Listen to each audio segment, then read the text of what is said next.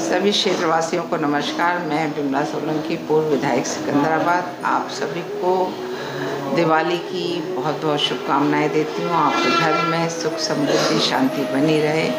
भगवान गणेश जी का आशीर्वाद सभी पर बना रहे। यही कामना मैं भगवान से करती हूँ। बहुत बहुत धन्यवाद।